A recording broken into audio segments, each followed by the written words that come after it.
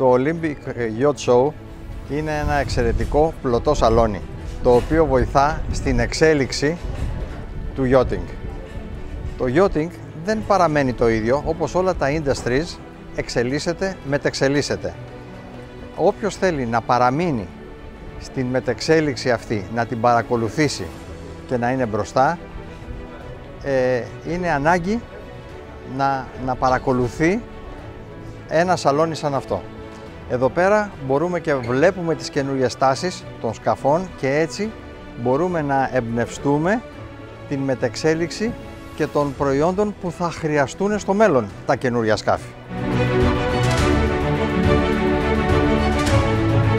Ο επισκέπτης μπορεί να σταματήσει στο περίπτερο Κορονάκης γιατί μπορεί να πάρει σχοινιά που να ταιριάζουν απόλυτα στις ανάγκες του είτε είναι χρωματικές, είτε είναι ποσοτικές, είτε είναι ποιοτικές και ακόμα ακόμα να καλύψει και άλλες ανάγκες που άλλα σκηνιά δεν μπορούν να καλύψουν όπως ας πούμε το noise reduction, δηλαδή την ελάττωση του, του τριξίματος και τα λοιπά, την αύξηση της ελαστικότητος και οποιαδήποτε άλλη ανάγκη μπορεί να έχει, να έχει σκεφτεί και να μην έχει καταφέρει να την ανακαλύψει στην αγορά.